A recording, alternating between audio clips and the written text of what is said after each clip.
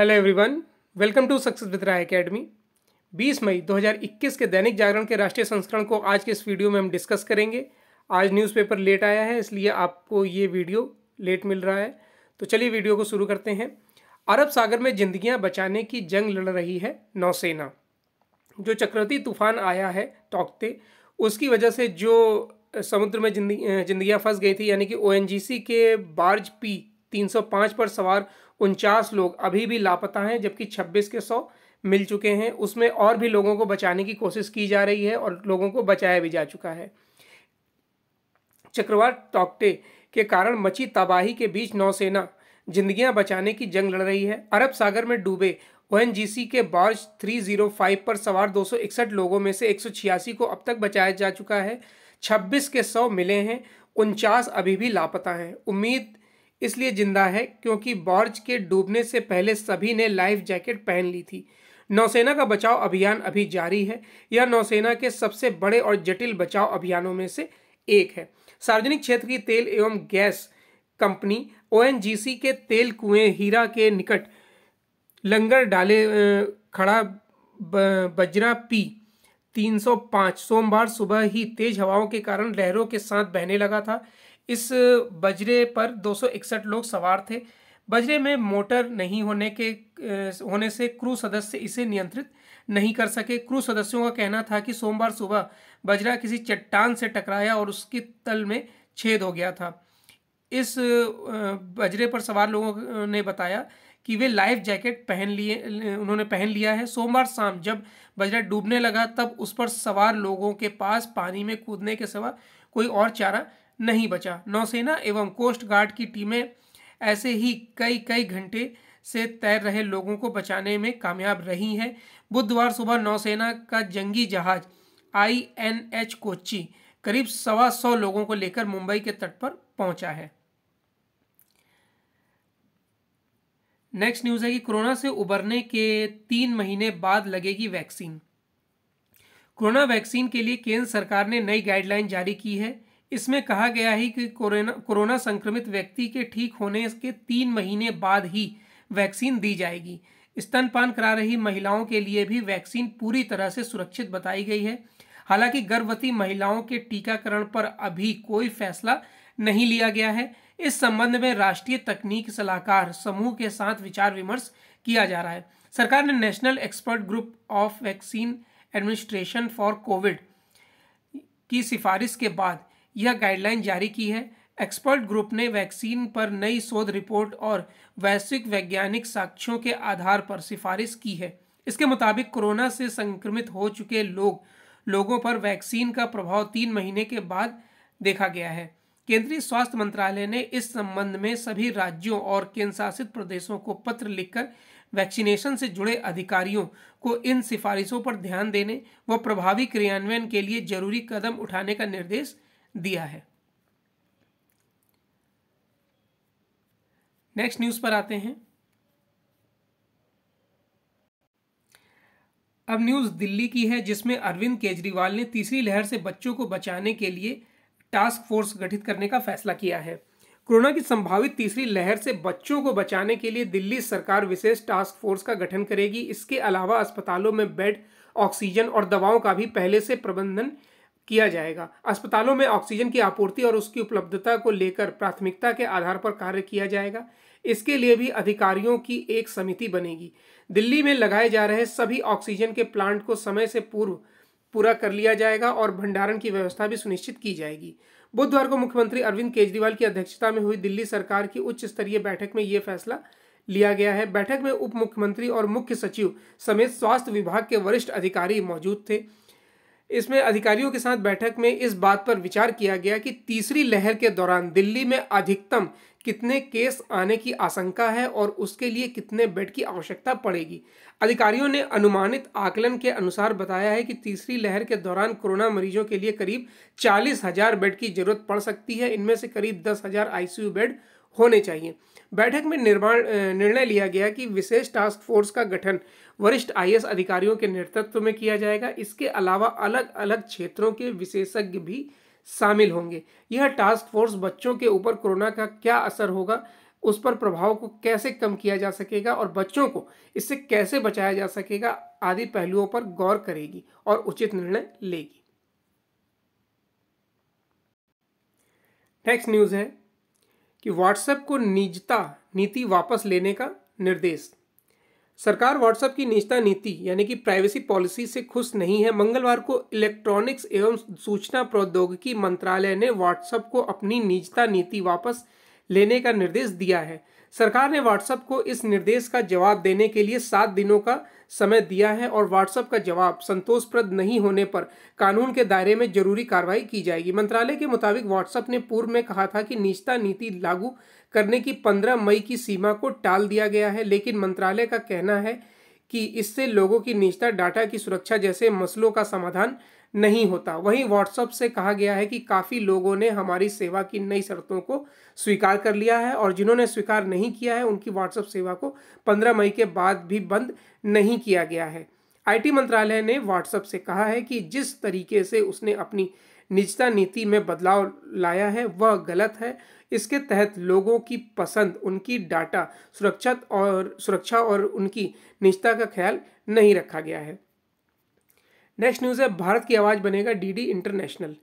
वैश्विक मंचों पर भारत के नज़रिए को मज़बूत आवाज़ देने के लिए प्रसार भारती ने दूरदर्शन इंटरनेशनल चैनल लॉन्च करने की दिशा में पहला कदम बढ़ा दिया है। मौजूदा वैश्विक भू राजनीतिक और आर्थिक कूटनीति की व्यवस्था में भारत के दृष्टिकोण को स्थापित करने के मकसद से इस चैनल की कार्य योजना बनाई जा रही है। स्वाभाविक रूप से प्रस्तावित डीडी इंटरनेशनल चैनल का एक मुख्य मकसद सामाजिक विषयों पर देश के बारे में वैश्विक मीडिया के एकांकी नज़रिए का जोरदार जवाब देते हुए भारत की सही तस्वीर पेश करना है। प्रसार भारती बोर्ड ने हरी झंडी मिलने के बाद दूरदर्शन के डीडी इंटरनेशनल को स्वरूप देने के लिए कंसल्टेंट नियुक्त करने की प्रक्रिया शुरू कर दी है। बोर्ड ने कंसल्टेंट नियुक्त करने के लिए वैश्विक निविदा आमंत्रित की है और 28 मई तक टेलीविज़न ब्रॉडकास्टिंग क्षेत्र की सलाहकार समिति से आवेदन मांगे हैं। अमेरिका के सीएनएन न्यूज़ चैनल और बीबीसी की तर्ज पर दूरदर्शन के इंटरनेशनल चैनल की ज़रूरतें लंबे अरसे से महसूस की जा रही थी और बीते कुछ सालों में इस प्रस्ताव को लेकर सुगुहाहट भी हुई थी। पिछले दिनों में भारत जहाँ वैश्विक मंच पर मज़बूत होकर उभरा है, वहीं कई बार अंतर्राष्ट्रीय मीडिया की ओर से पक्षपात भी महसूस किया जा रहा है। प्रसार भारती ने कंसल्टेंट नियुक्त करने की निविदा से ही स्पष्ट कर दिया है कि भारत के ग्लोबल सामरिक उद्देश्यों की खातिर डीडी इंटरनेशनल की अंतर्राष्ट्रीय मीडिया में मौजूदगी को स्थापित करना ही करना होगा ताकि अंतर्राष्ट्रीय स्तर पर भारत की आवाज़ और नज़रिए को मजबूती से रखा जा सके। नेक्स्ट न्यूज़ है, बिज़नेस पेज से कि ई वे बिल और फास्टैग जुड़े अब जीएसटी चोरी मुश्किल। जीएसटी चोरी को रोकने के लिए सरकार की सख्ती लगातार बढ़ रही है। अब ई वे बिल से जुड़े सामानों की आवाजाही की रियल टाइम जानकारी जीएसटी अधिकारी रख पा रहे हैं। ई वे बिल को फास्टैग और रेडियो फ्रिक्वेंसी आइडेंटिफिकेशन से जोड़ दिया गया है। इससे सामान ले जाने वाले वाहनों पर निगरानी रखी जा रही है। इससे जीएसटी चोरी पर लगाम लगाना आसान हो गया है। जानकारों के मुताबिक ई वे बिल जनरेट करने के दौरान सामान ले जाने वाले वाहन की पूरी जानकारी देनी होती है। ई वे बिल सिस्टम को जीएसटी अधिकारियों के पास मौजूद मोबाइल ऐप से जोड़ दिया गया है। ऐसे में वाहनों के नंबर से, नंबर के नंबर को डालकर जीएसटी अधिकारियों, अधिकारी उस ऐप की मदद से आसानी से यह जान सकेंगे कि वह वाहन अभी कहाँ पर है और अपने गंतव्य तक पहुँचने में उसे कितना समय लगेगा? फास्टैग से जुड़े होने के कारण यह वाहन, वह वाहन कितने टोल प्लाजा को पार कर चुका है, इसकी जानकारी रियल टाइम पर मिल रही है। जीएसटी अधिकारी अब यह आसानी से पता लगा लेंगे कि बिना ई वे बिल के माल ढोने वाली कितनी गाड़ियाँ टोल प्लाजा से गुजरी हैं। इससे गैर कानूनी तरीके से माल की अंतर्राज्यीय स्तर पर होने वाली ढुलाई पर रोक लग सकेगी। नेक्स्ट न्यूज़ है आरबीआई के फैसलों पर जल्द अमल करें बैंक। भारतीय रिज़र्व बैंक ने बैंकों से उसकी हालिया घोषणाओं पर तेज़ी से अमल करने को कहा है। आरबीआई के गवर्नर डॉक्टर शक्तिकांत दास ने बुधवार को सरकारी बैंकों के एमडी और सीईओ के साथ बैठक की। इसमें बैठक को स्पष्ट कहा गया कि आरबीआई ने पिछले दिनों जो घोषणाएँ की हैं और बैंकों को उनकी बैलेंस शीट में। जिस तरह की मजबूती लाने को कहा गया है, उन पर वो तत्काल अमल शुरू करें। वैसे इस बैठक में दास ने माना कि कोरोना संकट से पैदा हुई चुनौतियों से निपटने और लोगों व कंपनियों को वित्तीय मदद मुहैया कराने में सभी बैंक महत्वपूर्ण भूमिका निभा रहे हैं। कोरोना संकट की दूसरी लहर से उत्पन्न चुनौतियों को देखते हुए आरबीआई ने इस महीने पहले सप्ताह में कुछ घोषणाएँ की थीं। इसमें हेल्थ केयर सेक्टर से जुड़ी कंपनियों को पचास हज़ार करोड़ रुपए की किफ़ायती कर्ज सुविधा उपलब्ध कराने समेत एमएसएमई यानी सूक्ष्म लघु एवं मझोले उद्योग क्षेत्र को आसानी से कर्ज मुहैया कराने, कर्ज पुनर्गठन और केवाईसी को तर्क संगत बनाने जैसी घोषणाएँ शामिल थीं। बैठक में आरबीआई के deputy governor M K Jain, M Rajeshwar Rao, Michael Dev, Devvrat Patra और टीवी रविशंकर भी उपस्थित थे। नेक्स्ट न्यूज़ एडिटोरियल पेज से होगी और पहला आर्टिकल है कि दूरगामी नतीजों वाला टकराव और ये आर्टिकल लिखा है ऑब्जर्वर रिसर्च फाउंडेशन में रणनीतिक अध्ययन कार्यक्रम के निदेशक हर्ष वी पंत द्वारा। देखिए, आर्टिकल में वही इसराइल और फिलिस्तीन की लड़ाई के बारे में बताया गया है और इससे रिलेटेड एक मेरे द्वारा वीडियो भी बनाया गया है, जिसका लिंक आपको डिस्क्रिप्शन बॉक्स में भी मिल जाएगा या फिर आप करंट टॉपिक के सेक्शन में जाकर उसे देख सकते हैं। उसमें इसराइल और फिलिस्तीन का टकराव कब से हो रहा है? क्या कारण है? इसके दूरगामी प्रभाव क्या है? इससे किस तरीके से बचा जा सकता है? इसमें विश्व समुदाय की क्या भूमिका है? भारत की क्या भूमिका है इसमें? ये सभी डिटेल आपको उस वीडियो में दी गई है। पश्चिम एशिया में इजरायली सुरक्षा बलों और गाजा पट्टी से जुड़े जमाए जड़े जमाए फलस्तीनी आतंकी संगठन हमास के बीच जारी संघर्ष में इसके बावजूद कोई कमी आती नहीं दिख रही है कि दुनिया भर की ताकतें उसे रोकने की जरूरतें जता रही हैं। जमीनी हालात यही बयां कर रहे हैं कि टकराव जल्द नहीं थमेगा। दोनों तरफ़ से हमले जारी हैं। जहाँ हमास इसराइल में रॉकेट हमले कर रहा है, वहीं इसराइली सेना गाजा में हमास के ठिकानों को निशाना बना रही है। इन हमलों में दोनों ओर से लोग मारे गए हैं। अभी तक 200 से अधिक लोग फिलिस्तीन में और करीब 10 इसराइल में मारे जा चुके हैं। चूँकि हिंसा जारी हुए दो सप्ताह हो गए हैं, इसलिए अंतर्राष्ट्रीय समुदाय भी उसे रोकने के लिए सक्रिय हो गया है, लेकिन यह कहना कठिन है कि उसे जल्द सफलता कब मिलेगी। फ़िलहाल संतुलन इसराइल के पक्ष में है, लेकिन यह ज़्यादा दिन तक नहीं रह सकता, क्योंकि जैसे जैसे अंतर्राष्ट्रीय मीडिया में गाजा में होने वाली मौतों के बारे में लिखा जाएगा वैसे वैसे विश्व जनमत इसराइल के खिलाफ होता जाएगा। ज़ाहिर है कि इसराइल को गाजा में अपने लक्ष्य जल्द पूरे करने होंगे, भले ही इसराइल के पास अंतर्राष्ट्रीय समर्थन की कमी ना हो, लेकिन वह लंबे समय तक नहीं रह सकता। हालाँकि इसराइल का यह कहना है कि गाजा में हमलों के वक्त इसका ध्यान रखा जा रहा है कि नागरिक आबादी को क्षति ना पहुँचे, लेकिन बावजूद इसके दुनिया भर में इस संघर्ष को लेकर चिंता बढ़ती जा रही है। यह उल्लेखनीय है कि भारत के इसराइल और अरब देश देशों दोनों के साथ अच्छे संबंध हैं। पिछले कुछ वर्षों में मोदी सरकार अपनी इसराइल और फिलिस्तीन नीति में काफ़ी स्पष्टता लाई है। इसका फ़ायदा भारत को मिल रहा है। इसके इससे भारत इसराइल के साथ साथ अरब देशों के साथ अपने हितों को साथ, साध पाया है। जैसे भारत की इसराइल को लेकर हिचक टूटी है। उसी तरह अरब देश भी अब इसराइल से अपने संबंध सुधारने में लगे हुए हैं। इसका भी फ़ायदा भारत को मिल रहा है। इसी को ध्यान में रखते हुए भारत ने इसराइल और फिलिस्तीन के साथ अपने संबंधों में संतुलन लाने की कोशिश की है। भारत ने हमास के रॉकेट हमलों का विरोध कर दुनिया को यही बताया है कि वह आतंकवाद का कभी समर्थन नहीं करेगा। इसके साथ ही भारत ने यह भी ज़ाहिर किया है कि इस समस्या का स्थायी हल निकालना ज़रूरी है। इससे पश्चिमी एशियाई की कई समस्याओं का भी समाधान हो सकता है। वास्तव में इस संघर्ष को लेकर भारत का जो रुख है, वह आतंकवाद के खिलाफ है और पश्चिम एशिया में शांति और स्थिरता कायम रखने को लेकर है। नेक्स्ट न्यूज़ है कि नदियों में सौ डालने का पाप। और यह आर्टिकल लिखा है परमार्थ निकेतन ऋषिकर ऋषिकेश के परमाध्यक्ष स्वामी चिदानंद सरस्वती द्वारा। भारत में संस्कृति और संस्कारों का बड़ा महत्व है। हमारी सनातन संस्कृति संस्कारों पर आधारित है। इसका ना आदि है और ना अंत है। यह अविनाशी, अजय और निरंतर है। भारत पर कोरोना का कहर वज्रपात की तरह बरसा है। कोरोना से ये जो मौतें हो रही हैं, वे महज एक आंकड़ा नहीं, बल्कि किसी की पूरी दुनिया है। कुछ स्थानों में गंगा और अन्य नदियों में बहते सौ उनके तटों पर रेत में समाधि देने वाली सूचनाएँ प्राप्त हो रही हैं। वे अत्यंत हृदय विदारक हैं और चिंता का विषय हैं। इस समय शमशानों पर भीड़ है। लकड़ियाँ और अंतिम संस्कार की अन्य सामग्रियों के बढ़ते दामों की वजह से लोग अपने प्रियजनों के सौ को नदियों में बहा रहे हैं और उनके तटों पर रेत में समाधि दे रहे हैं।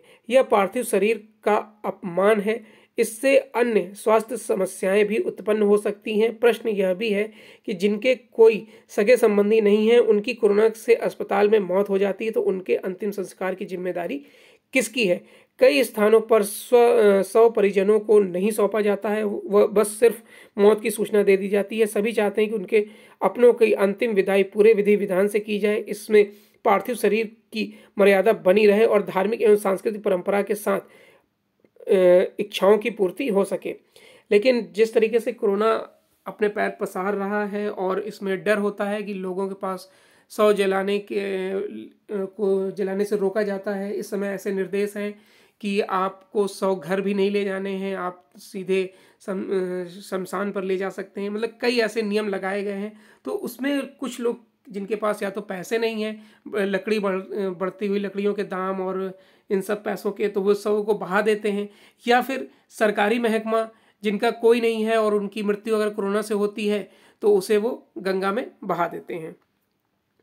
माँ गंगा भारत में पाँच राज्यों से होकर बहती है और कई गाँवों के लोग गंगा जल का उपयोग पेयजल, सिंचाई एवं स्नान आदि के लिए करते हैं। भारतीय अर्थव्यवस्था का मेरुदंड और भारतीय अध्यात्म का सार भी माँ गंगा है। गंगोत्री में गंगा सागर तक गंगा के तट पर अनेक तीर्थ हैं। पचास करोड़ से अधिक लोगों की आजीविका केवल गंगा के जल पर निर्भर है और पच्चीस करोड़ लोग तो पूर्ण रूप से गंगा जल पर आश्रित हैं।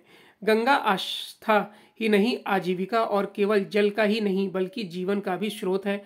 हमारे लिए गंगा एक नदी की तरह नहीं, बल्कि एक जागृत स्वरूप है। नदियों के तटों और कैचमेंट एरिया में शवों को दफनाना या शवों को प्रभावित करना एक नई समस्या को जन्म देने जैसा है। नेक्स्ट आर्टिकल है, घिनौनी राजनीति।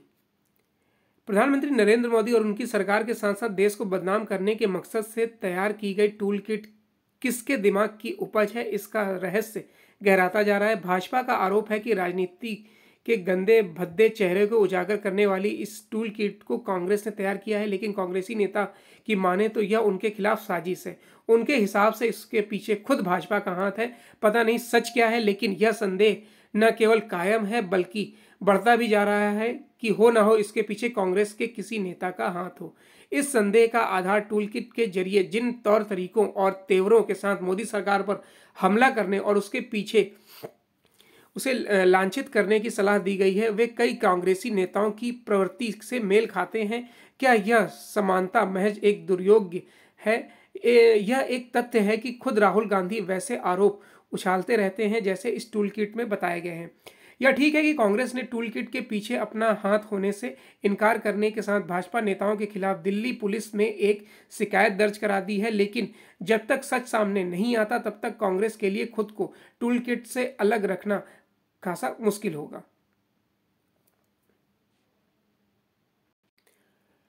नेक्स्ट न्यूज़ है कि इसराइल हवाई हमले में बड़ा घर ध्वस्त, छह मरे। बुधवार की सुबह गाजा पट्टी पर इसराइल के हवाई हमलों में कम से कम छह लोग मारे गए। हवाई हमले में एक बड़ा रिहायशी घर उड़ा दिया गया। इसराइल की सेना ने कहा कि उसे खान, यूनुस और रफा में आतंकियों के ठिकानों को निशाना बनाया और बावन विमानों ने 25 मिनट में 40 ठिकानों की पर बमबारी की है। चीन ने अब नेपाल के दौलखा ज़िले में ज़मीन पर कब्जा किया। चीन अपने पड़ोसी देश की संप्रभुता पर चोट करते हुए उसकी ज़मीन पर कब्जा करने का कोई मौका नहीं छोड़ता। ताज़ा मामला नेपाल का है। अच्छे संबंधों के बावजूद चीन ने नेपाल के सीमावर्ती ज़िले दौलखा की सीमा पर लगे पिलर गायब कर बड़े हिस्से पर कब्जा कर लिया है। इससे पहले भी चीन ने नेपाल के कई अन्य सीमावर्ती इलाकों में ऐसी हरकत कर चुका है और नेपाल की धरती पर स्थायी निर्माण और सड़क बना चुका है। नेपाल के गृह मंत्रालय ने चीन की इस हरकत पर आपत्ति जताते हुए कहा है कि ऐसा दौलखा ज़िले के वीगू गाँव में हुआ है। गृह मंत्रालय ने इस आशय की सूचना विदेश मंत्रालय को दे दी है। वह चीन के साथ इस बाबत वार्ता करेगी। विवाद विदित होता है कि नेपाल और चीन के बीच की सीमा का निर्धारण दोनों पक्षों की रजामंदी से 1960 में हुआ था। इसके बाद दोनों देशों के बीच 1961 से सीमा समझौता हुआ और सीमा पर पिलर लगा दिए गए। इस समझौते के बाद दोनों देशों के सीमावर्ती इलाकों में कई बदलाव हुए, लेकिन सीमा रेखा नहीं बदली। बाद के वर्षों में दोनों देशों की सीमा पर छिहत्तर परमानेंट पिलर भी खड़े कर दिए गए, लेकिन अब चीन यथास्थिति को बदलने का प्रयास कर रहा है।